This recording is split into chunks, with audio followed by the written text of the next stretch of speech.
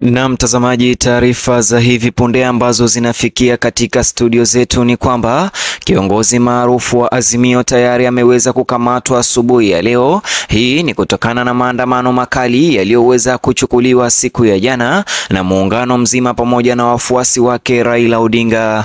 Jana wafuasi wa Azimio la Umoja waliandamana kando ya barabara na barabara na kusababisha maeneo makubwa ya nchi kusimama na kuzua vurugu. Mzozo kati ya waandamanaji wenye ghasia na polisi wa kupambana na ghasia ulishuhudiwa katika sehemu nyingi nchini. Watu saba wamethibitishwa kufariki kufuatia maandamano hayo ya ghasia yaliyotokea katika maandamano ya Raila.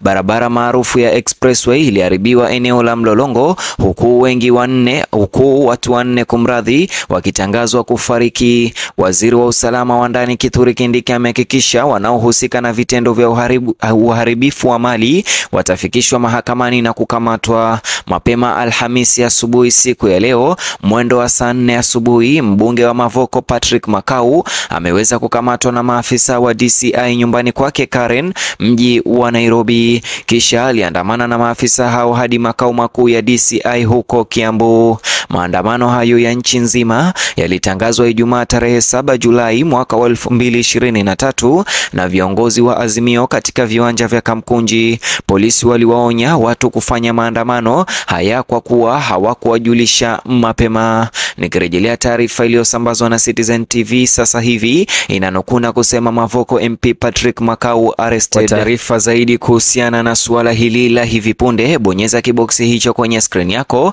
kitakuelekeza katika YouTube channel yetu mpya ambapo tumeweza kukuandalia taarifa zaidi kuhusiana na masuala haya ya siasa, na pia ukumbuke kusubscribe huko kwa taarifa nyingi zaidi.